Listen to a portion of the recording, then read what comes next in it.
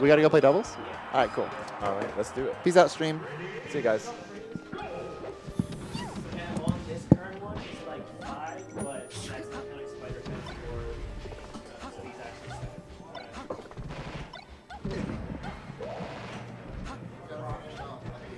Yeah, I love Nathan, bro. All right, well, right into it. Eliott and Smilez. Um, this is winners round four. Um, okay, so Smilez, HTC Smilez, he's just coming back from his his training in the hyperbolic time chamber. We haven't seen him in about a month, so we are. This is actually a treat. Um, Yeah, I was watching Smilez play before. Uh, I feel like Peach would be not a good matchup for him. Well, he's uh yeah, he's not great against Peach. Um, he's but he's very very much a defensive orient. Sorry. Can you or did you? Is it green? And Blizzard black and green on the inside?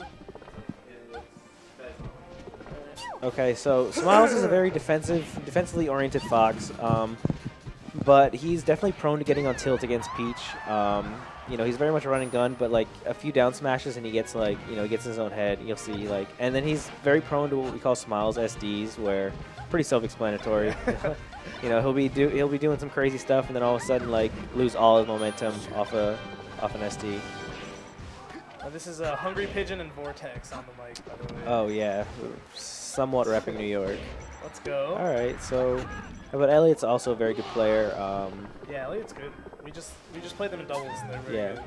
Eliott and Zidane, so that'll be fun. Um, we're gonna get that run back. Oh, just Definitely. yeah, he's dead. Oh wow, okay, gets the back hit in there. So Smilez lives.